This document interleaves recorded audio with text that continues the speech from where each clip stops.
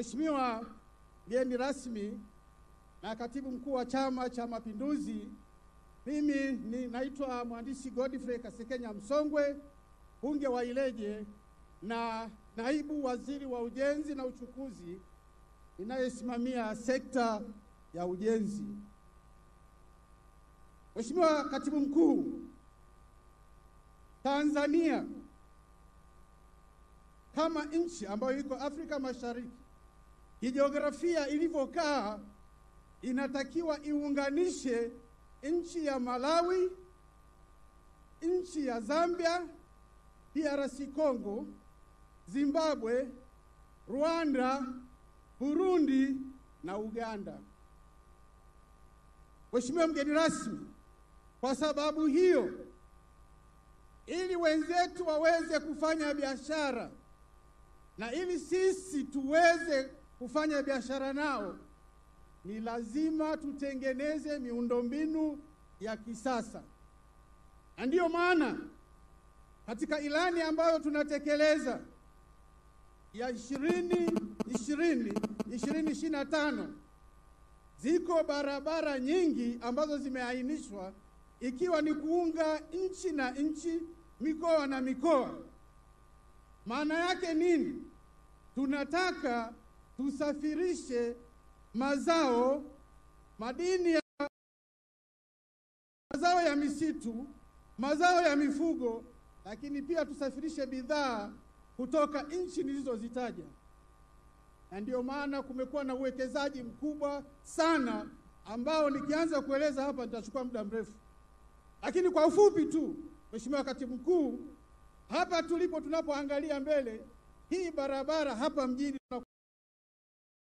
rasi wako tayari kujenga barabara ya njia nne hapa, lakini pia kujenga bypass ambayo itaanzia kule Mlima Nyoka hadi Songwe. Wakandarasi walishatangazwa. Tunajenga SGR kutoka Dar es Salaam hadi Kigoma, Kigoma kwenda Burundi, kwenda Zaire, DRC.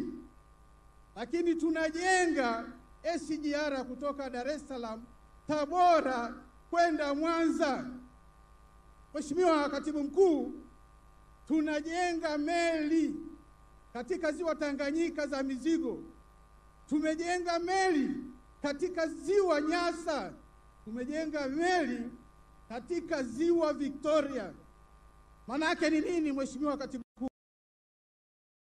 Mazao haya, biashara hizi, bidhaa hizi lazima zitoke nje ya nchi, na ili zitoke nje ya nchi, baada ya kuimarisha na kuboresha miundombinu hii ya ndani, na ili wenzetu watutumie sisi, wasio wakaenda kwingine, hakuna namna yoyote, lazima bandari yetu iboreshwe kwa maana ya kuweka uwekezaji mkubwa ambao utabeba mizigo yote ambayo itatoka na SGR, mabarabara, TAZARA ili iweze kwenda nje, lakini pia tuweze kupokea mizigo mingi kutoka nje.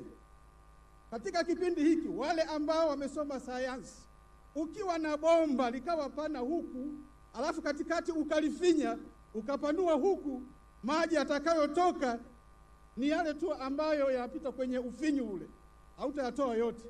Kwa hiyo bandari lazima iendane na ukubwa wa miundombinu ya huku na iendane na meli tunazozipokea.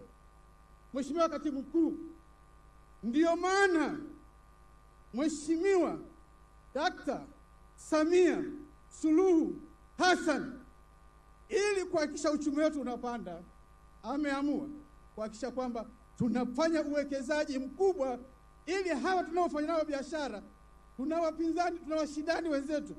Watu wanaweza kaenda, wanaweza kaenda Mozambiki, wanaweza kaenda Durban, wanaweza kaenda wapi, wakati sisi ndo tuko sehemu sahihi. Kwa hiyo tunachotakiwa kufanya ni kuhakikisha kwamba hakika bandari yetu tunawekeza na tunawekeza uwekezaji wa kisasa na mkubwa, kwa sababu tayari huku kote tumeshafanya. Mheshimiwa Katibu Mkuu, baada ya kusema hayo machache, naomba nishukuru kwa nafasi hii kutoa salamu. Asante.